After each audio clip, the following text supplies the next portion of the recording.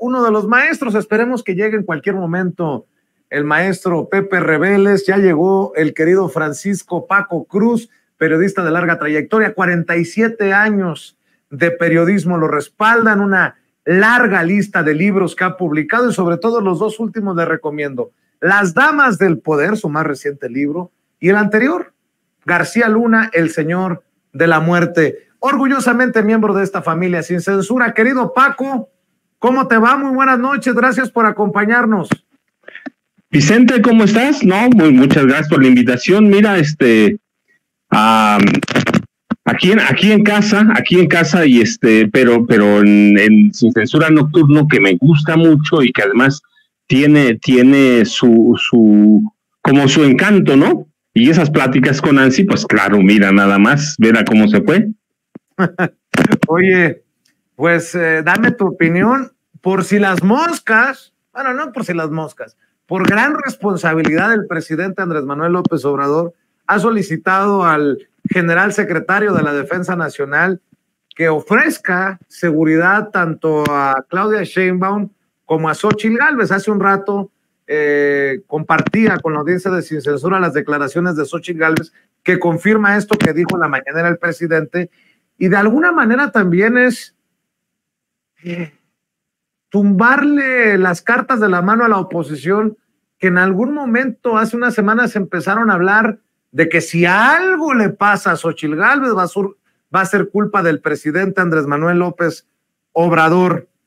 Eh, ¿Esto cómo lo lees de ofrecerle la seguridad a las aspirantes?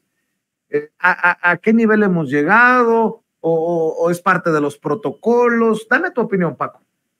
Ah, no, mira, Vicente, hace mucho sí es parte de los protocolos. El caso de Andrés Manuel López Obrador era bien diferente, este es bien diferente. López Obrador se, se cuece o juega en otras ligas mucho mayores, pero también es parte de, tumbarle la, la narrativa. Mira, no a la oposición, sino a un grupo de analistas y periodistas que son los que levantan estas versiones muy perversas, por cierto, este, que tratan de guiar a su manera y verdaderamente yo siento que así lo hacen, tratan de guiar un, un, un homicidio, va, son periodistas que han sido sicarios, que, han, ah, que juegan por lana, que, que están tratando de, de, desestabilizar al régimen, no han encontrado la forma, no la han encontrado, pero, pero ah, también son mercenarios, así que están inventando, están jugando, y eso cuando digo juego es algo muy peligroso, están tratando de descarrilar a un país que, y no les importa nada, ¿eh? No les importa nada.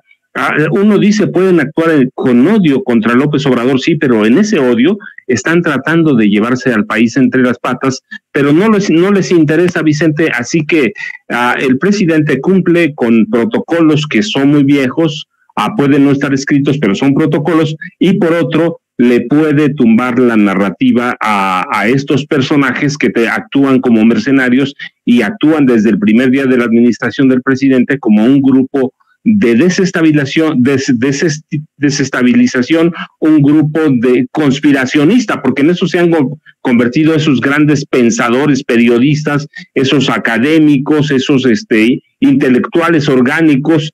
Ah, así que está bien, está bien para, para calmar las pasiones de estos personajes que sí, yo estoy convencido que más de uno de ellos está pensando en un homicidio para para desestabilizar al gobierno de Andrés López, Andrés Manuel López Obrador, y es la única forma, según ellos, que podrían tirar al presidente, porque nada, nada de lo demás les ha pegado, Vicente.